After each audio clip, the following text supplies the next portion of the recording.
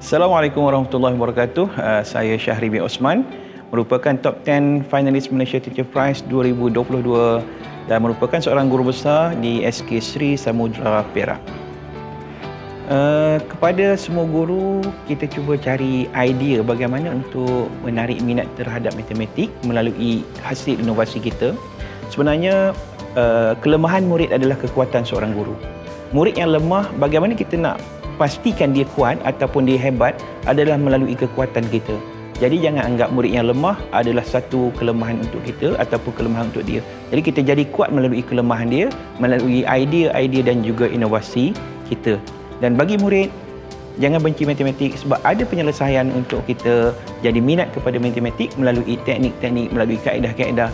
Carilah ilmu berterusan sebab melalui ilmu yang kita manfaatkan ataupun kita dapat daripada guru-guru yang hebat kita akan dapat suatu tenaga, suatu kekuatan untuk terus minat matematik dan menjadi cemerlang dalam matematik.